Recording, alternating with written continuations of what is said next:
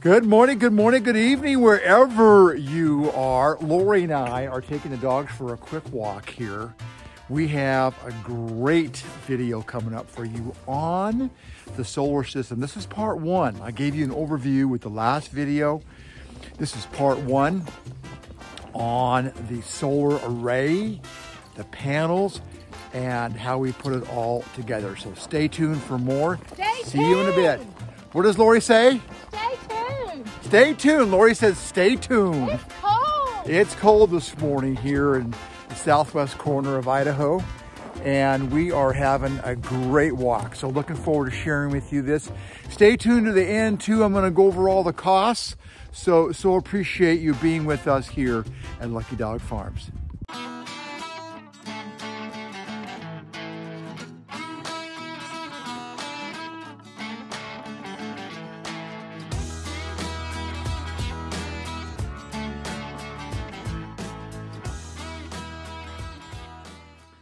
All right, here is what the panels look like after they go up.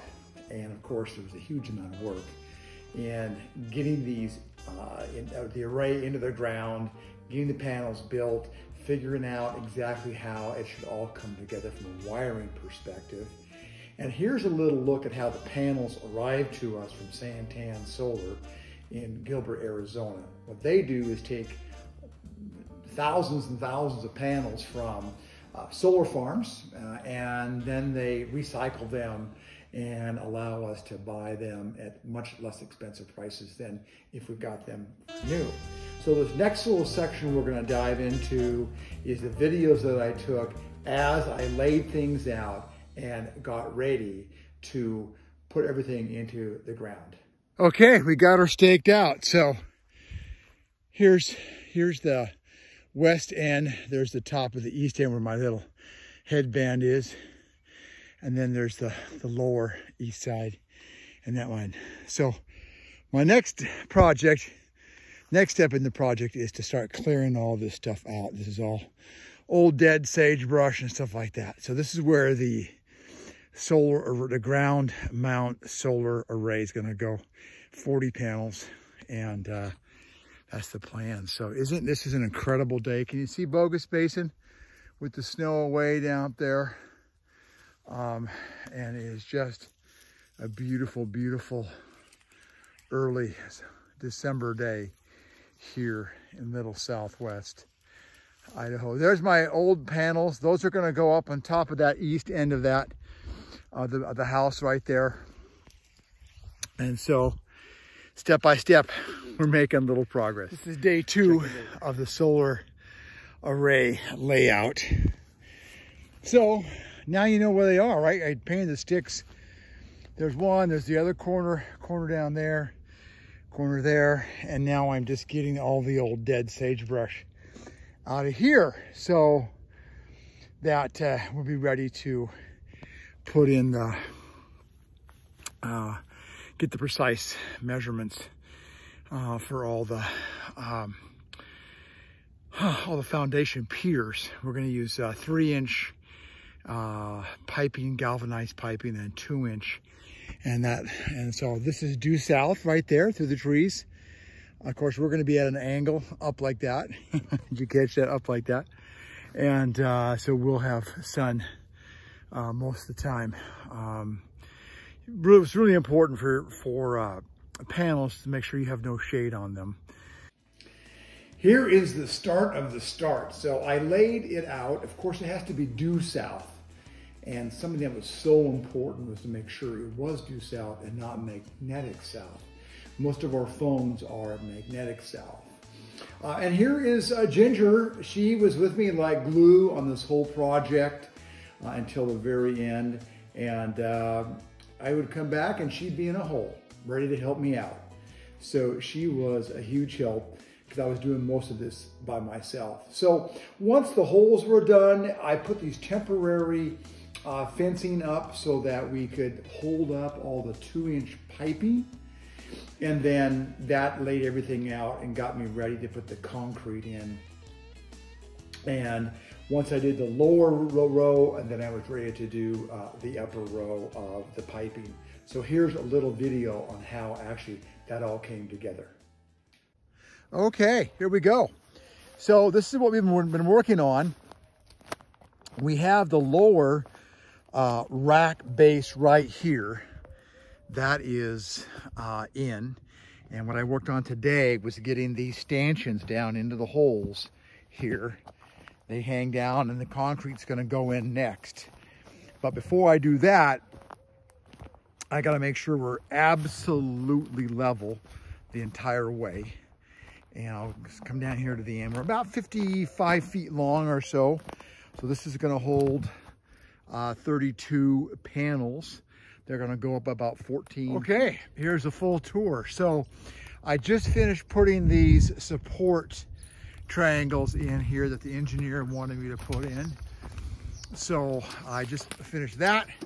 I've got the concrete in down here. You can see got the concrete in.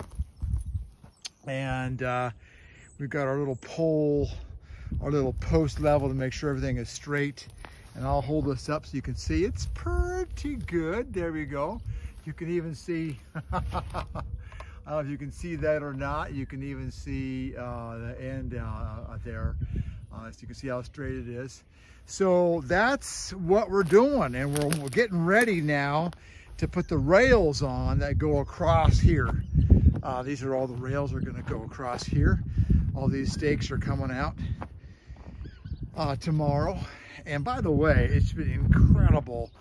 Our little place here, uh, southwest corner of of Idaho is right where all the Canadian geese going out seen right now, but there have been thousands and thousands and thousands. So, okay, here's from the other side. You can see. Um, and of course, uh, we've got the Mighty Shadow, the cat over there. Mighty Shadow hangs out with us. So it's looking pretty good. Come a long ways. And uh, tomorrow all the supports come come down because all the concrete will be hardened and we'll be ready to uh, put the rails on. Here's some looks at all the various little components I've put together so you can see how that went up with this two inch pipe. And the engineers had me reinforce it with uh, uh, angles coming down, nine degree angles coming down on the sides and also on the back and um, also on the front. And here is starting to come together. These are the ribs that are going across both the top and the bottom section. And then after I did the ribs, I had to, yes, 32 times, bring down the panels. And it looked like something like this. so uh, I just kept at it a little bit each day. It's amazing what you can get done. And uh, then I started the very, very first row of panels. And Lori came back the next weekend to uh, give me a hand. Yeah, come on down here and uh, show everybody the row number one. So what did you say? More hands make light work? Many hands. Many hands. Add two more work. hands? Ancient Cherokee saying. Add two more hands and look, how, look yeah. we, we, got have, sun on the panels. Come on down here a little bit and you can look up that way. Look how cool that yeah. is. So Lori and I have the first row on here. I'm gonna get to wash my clothes, wash my hair, take a bath, make coffee, do toast. Yeah. I gotta show you our view again. So we can have this view. This view. The view of solitude, peace and quiet, life on the farm. Right, Jerome? Right, Lori. Okay, tomorrow we'll be working on row, row two. two. Row two in the morning. Good night. Let's talk about the wiring. How do you know how to put all this together so you have the right amount of watts, the right amount of amps coming into your charge controller uh, and your inverter. Remember the charge controller is what manages the power from the panels and squeezes all that into your batteries. And then the inverter takes that power out of the batteries uh, and converts that into 120. uh, for your home or 240 if you have that as well. So this is a little look right here at how the panels are lined up roughly. And so we have four rows of eight for our system. And this is our, my Sol-Ark uh, manual.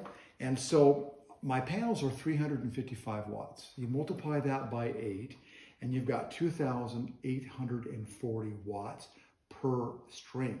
So we're going to parallel the first two strings. So what that means is that the watts uh, uh, stay the same and uh, then the amps will add together. So that means I have 2,840 watts for, for the two sets of panels and the amps have doubled to 18.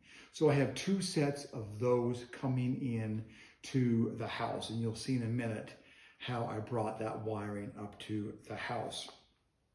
A great resource is the DIY Solar Forum. Huge help for anybody who's just starting, just beginning. I use them a lot. Great folks, very generous uh, with their time. And remember what we use here is very simple, requires just a tiny bit of algebra, not much, called Ohm's Law which really tells you that when things are in series, the voltage is added together. When things are in parallel, the amperage is added together. And those little things, that little uh, uh, formula really is the basis of all this and very easy to learn. There's also lots of online calculators that will help you with this process and you're welcome to reach out to me as well. The next step is a little video on the final steps of pulling this all together. So next step here on the bottom is we have to take all these wires and we need to put each row in series. So negative to positive, negative to positive, all the way up each one of these. And then they'll be paralleled with one row next to it. So I'm gonna have two rows, two, two sets of, of uh, parallel and that'll give us enough power, enough amperage to, uh, to run everything. And you can see I've been working on the wiring too. Uh, there it is. have you seen, have you ever seen so many rocks and, and so on out of one tiny little ditch? And uh, so that's my next project is getting the, the power of the wiring into the house. Stay tuned. Here we are finishing up the project, at least this part, the ground array. And I just had some great, beautiful weather. Isn't it a beautiful shot? And uh, it comes, once you have the ground array up, you start putting the panels together uh, on this and get them all tight and, and secure. You really feel like you're cruising towards the end, which you are, of course. And here's a look at all 32 panels from down below looking up at the house. This is right before I put the wraparound porch on, which is one of my next videos coming up. And I also had to learn a lot about batteries. These are the uh, 3.65 volt, uh, 272 amp hour batteries. And here you see the top balancing that I had to do, which you have to do with lithium batteries. And I'm going to talk a lot of, about that in my next part two video. So here we are just beginning to finish up the wiring. There's the Sol-Ark, the hybrid charge controller and inverter. There's all the batteries, all wired in two parallel, 16 in series. I want to thank all the generous people at DIY Solar Forum. I learned so much from all of you. You are all so generous with your time and your knowledge, and I couldn't have done it with all of you. So I'm really dedicating this video to all of you that were so helpful there. And if you're going to do a solar project on your own, you want to go there and you want to learn a lot and ask a lot of great questions. Check everything out first. Here's my costs. I may have missed one or two little things, but pretty much wrapped up here with that total that you see. And I will be having part two pretty soon, focusing on the batteries and the power. Thanks so much for being here.